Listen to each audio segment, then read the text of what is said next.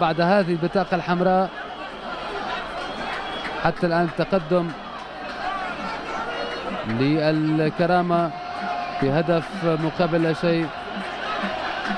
والكابتن فاروق سرية رئيس اتحاد كرة قدم يحاول أن يهدئ اللاعبين وبتعليمات مشتركة.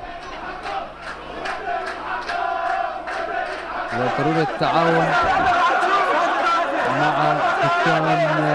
المباراة.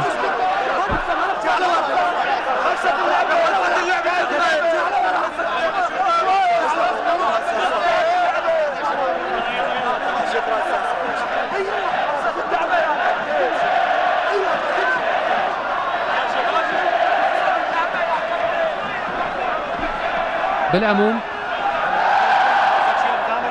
هدف وبطاقات صفراء عديدة وبطاقة حمراء. وتدخل رئيس اتحاد الكرة لتهدئة الأوضاع هنا في ملعب خالد الوليد.